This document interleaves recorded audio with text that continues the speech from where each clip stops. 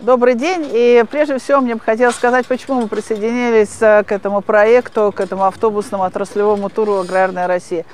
Мы хотим обратить внимание, насколько важно понятие здоровая почва, насколько важно создать и поддерживать здоровую почву на тех полях, где выращивается корма. Что такое здоровая почва? Здоровая почва – это та почва, которая работает как экологическая система, в которой сбалансирована работа биота и созданы все физико-химические условия для того, чтобы эта биота существовала, э, была достаточно обеспечена влагой, достаточно обеспечена воздухом. Ну, давайте посмотрим, какая биота наиболее важная, хотя бы некоторыми основными блоками. Прежде всего, целлюлозолитическая биота.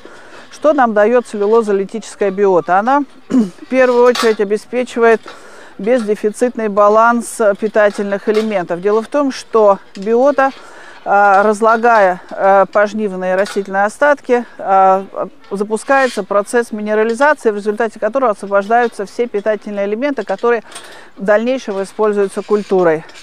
Второй момент – это гумификация. Дело в том, что тоже целлюлозолитическая биота э, разрушает целлюлозу, э, образуется лобильное органическое вещество, которое является основой э, физических параметров и как раз то содержание агрономических ценных агрегатов, которое в оптиме должно быть 60%, оно удерживается при оптимальном наличии лобильного органического вещества. Ну и нельзя не, э, не сказать о таком очень важном нюансе, как промывной режим. Дело в том, что, как правило, молочное производство, производство кормов находится в зонах с промывным водным режимом.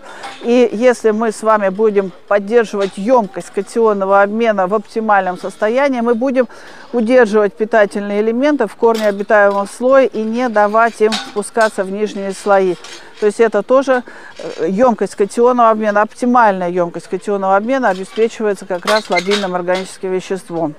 Следующая группа микроорганизмов – это, конечно, те микроорганизмы, которые обеспечивают биологическую доступность питательных элементов для э, растений, на основе которых потом формируется корма для животных. Это и азот-фиксаторы, и нитрификаторы, это фосфат-мобилизирующие бактерии, это различные серые бактерии. Мы тоже, это, как правило, а, аэробные а, бактерии, а, актиномицеты, и поэтому, поддерживая оптимальный воздушный режим, мы будем поддерживать оптимальное функционирование этой части биоты.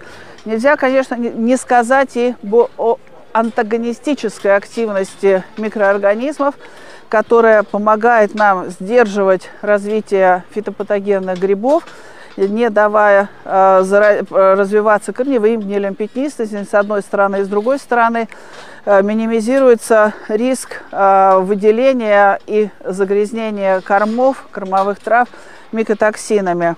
Ну и в завершение, конечно, не менее важная часть биоты, которая должна эффективно функционировать именно в формате здоровой экосистемы. Это та биота, которая использует в качестве своего питания как раз различные загрязнители, пестициды и другие загрязнители. И таким образом мы с вами, поддерживая эту, этот блок, это, эту группу биоты, обеспечиваем э, самоочищение почвы. Вот на самом деле даже на небольшом примере мы с вами увидели, насколько важно поддерживать здоровье почв при корме производства. И то, что здоровье почв является важным фактором устойчивого получения качественных урожаев для наших животных.